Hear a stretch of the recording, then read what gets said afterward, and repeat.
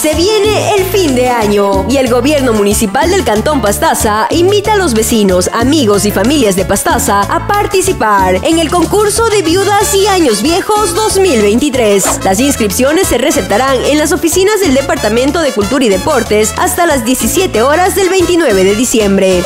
Se premiará a los tres mejores años viejos. Primer lugar, mil dólares. Segundo lugar, 800 dólares. Tercer lugar, 500 dólares. Además, entregarán premios a las tres mejores coreografías de viudas. Despidamos juntos el 2023.